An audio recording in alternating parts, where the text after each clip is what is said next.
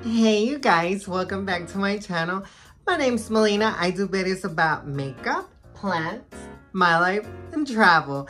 But today, we're gonna talk about plants. Shopping for rare plants. I'm gonna give you some tips that I wish I knew when I was beginning my rare plant journey, where I got these plants, which ones to get, which ones to avoid, and how to be a success, and oh, tongue twister, how to be a successful rare plant grower.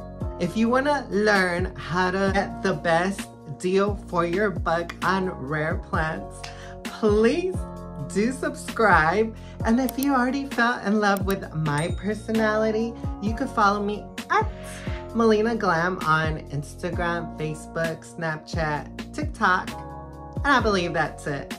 But without further ado, let's learn which rare plants you should stick to and what not to buy. What to buy.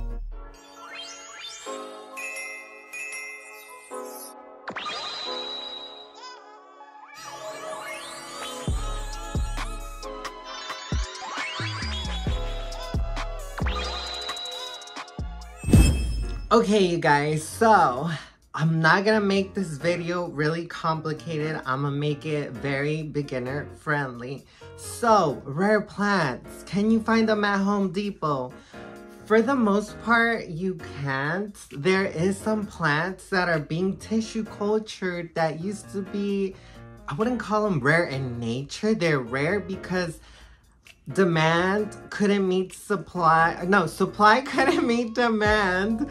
So that's why they were rare to find.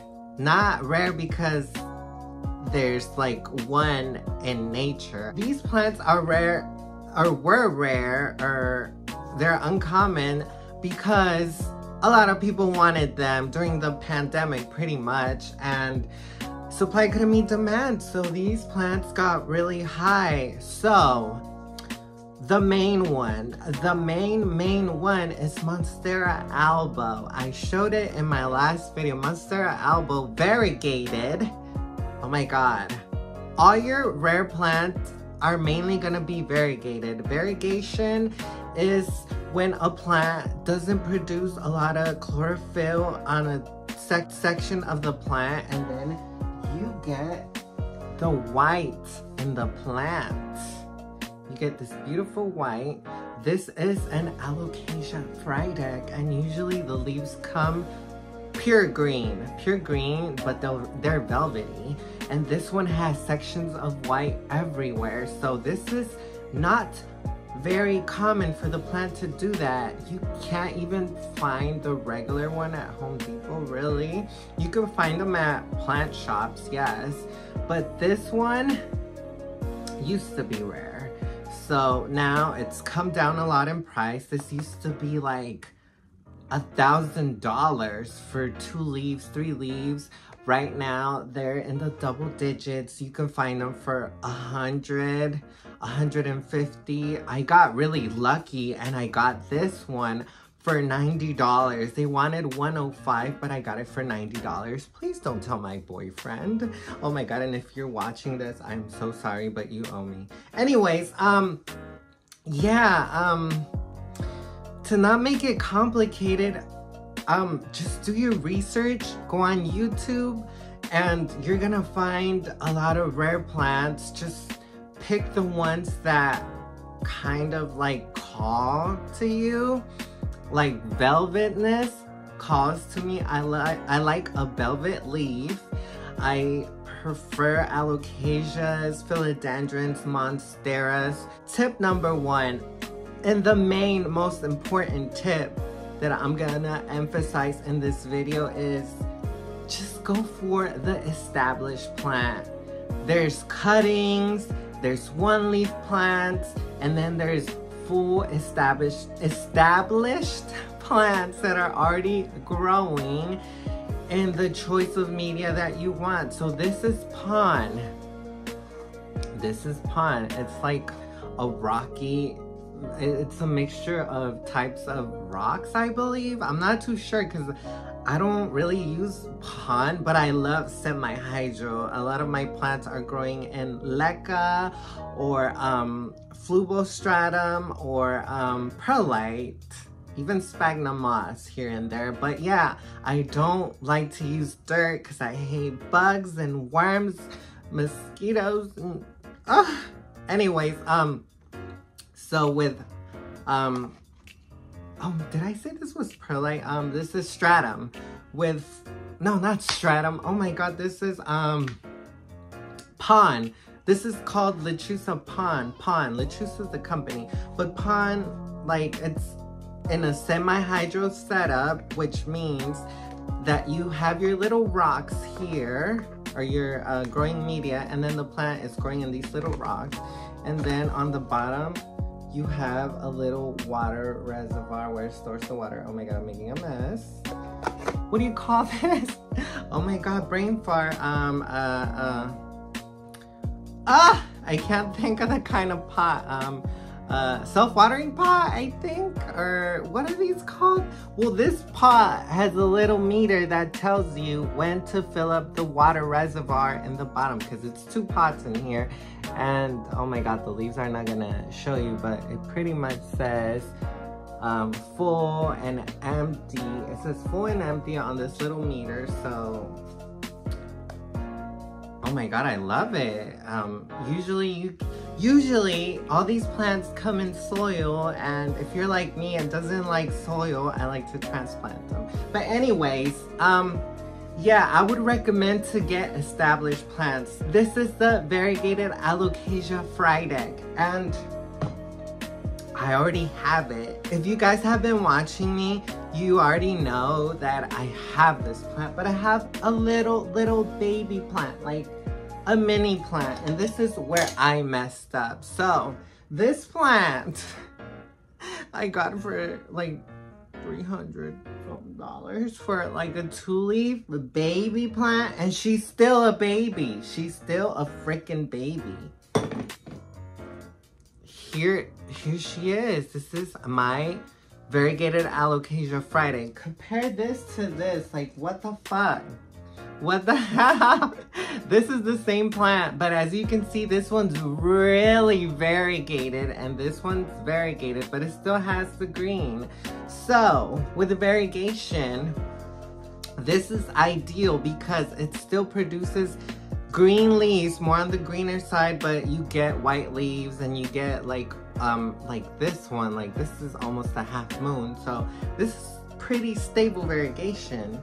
As with this one, it's fully white with a little hint of green. Look at that leaf. And this plant is pretty much killing itself because like I told the green parts of the leaves of the plant is the chlorophyll.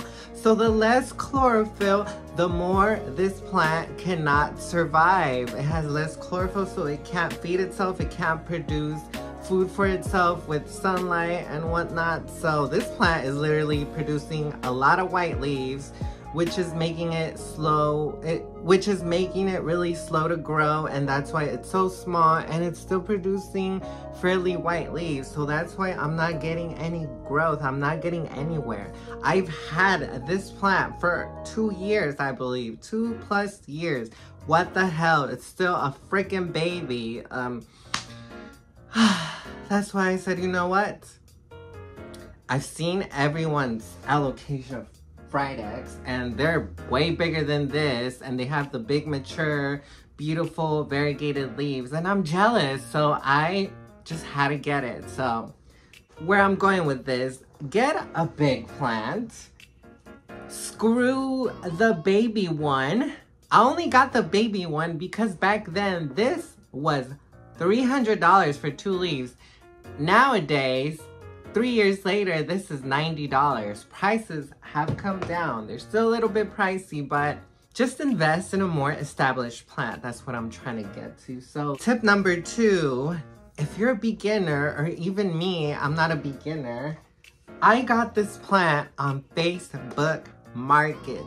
I love Facebook Market because you get your plant. Just look on your city, type in your city, miles that you're willing to drive, and you can meet and get the plant in person the same day. Or you can choose if you work on a weekend and you're getting the plant you avoid shipping process and like delays and the plant getting stuck in customs if you choose to import plants look on facebook market they have almost every rare plant you could think of like all the ones i have 90% of my plants I found on Facebook Market. So um, you get to meet new people, like become friends eventually. And um, I've met this girl that sold me my latest plant, which is right here, the variegated melano on my latest video. She's a sweetheart. Today I went to my first plant swap because I'm very shy. I don't like to go and explore and out like I met a lot of people from Facebook groups, plant groups. I know you guys are thinking like, like you're, um, not a weirdo, but you're a plant geek, a plant mom. Yes, I am, and I'm proud of it. Um, but yeah, look on Facebook Market, you guys. You get the plant the same day. You get to negotiate prices. They originally wanted a 105 for this, but I said, um, what's the lowest you can go? Can you do 90? And she said 95. And then I was at the plant swap and then she said, fine, I'll do 90. And I'm like, okay, let's do this. So I drove to her house and I got it in person the same day. And now I have this beautiful plant with me. So I recommend my number one way of getting rare plants is look on Facebook Market. You can get it the same day. But yeah, you guys, um, what else do I recommend? Um, Full Plants, Facebook Market. Um, if you're gonna import, please do import on summertime when the weather is good, springtime. Don't do right now. Right now it's like wintertime, Christmas. Hell no. Um, just think of like the cold fronts and all that. So avoid importing plants during winter. I would not do it. And number one, do your research. Get on YouTube. If you fell in love with a plant, let's say you fell in love with the Alocasia variegated Frydek, the variegated Frydek, you fell in love with it. Do your research, bitch. Get on YouTube. Look at where they grow originally in nature? Do they like a lot of water? Do they not like to be watered at all? Do they like more sun, less sun? Do they like to be near a window? Do they like humidity? Everything, airflow. so yeah, look up everything, write it down, like watch videos, I swear. I always invest a lot of time on plants because I love plants. So just because you think they're pretty and you want to get into the hobby, like just make sure to do your research.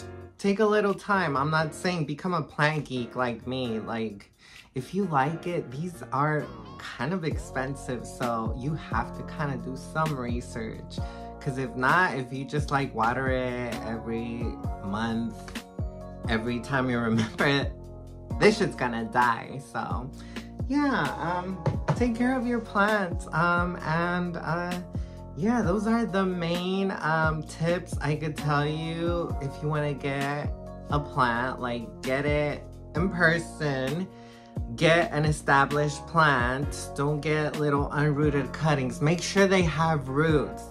Number one, make sure they have roots unless you're an intermediate grower and this plant is like a really good price for a cutting, then yeah, I guess I would. But I'm getting established plants fuck the baby. F, F the baby plants. I'm done with the baby plants because it's been three years. I'm going for the established plant. Save up your money and get the plant that you want.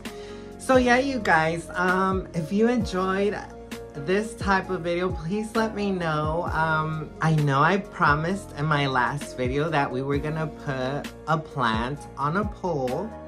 That video is next. That video's next, you guys, I promise. I literally just wanted to show off my new plant. I literally just got this at the... I didn't get it at the plant swap, but I got it on Facebook Market because the plant swap had baby ones. So I looked on Facebook and I got this whole ass plant for a better price. But yeah, you guys, thanks for watching. I'm Mileena and hopefully you stick around and you fall in love with plants as much as I do. And I'll see you on my next video. Bye guys. Oh, she's so pretty.